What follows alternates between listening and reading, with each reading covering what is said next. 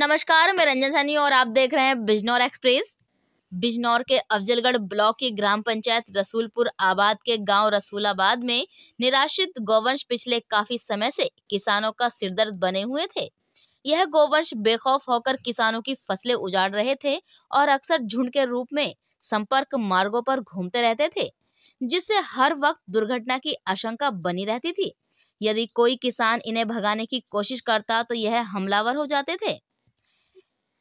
इस सबसे परेशान ग्रामीणों ने इकट्ठा होकर तेरह चौदह गोवंशों को पकड़ लिया और इसकी सूचना ग्राम प्रधान व ग्राम पंचायत सचिव को दी। ग्राम प्रधान पति समाज सेवी रईस अहमद एडवोकेट ग्रामीण शिव कुमार अमर सिंह, गोपी, पंकज आदि ने गोवंशों को ट्रैक्टर ट्रॉली में भरकर अगवानपुर स्थित वृहद गौ संरक्षण केंद्र भिजवाया। अफजलगढ़ से हमारे संवाददाता मोहम्मद शुएब की बिजनौर की सभी ताज़ा खबरों से जुड़े रहने के लिए हमारे यूट्यूब चैनल को बेलाइकन पर क्लिक कर सब्सक्राइब करें।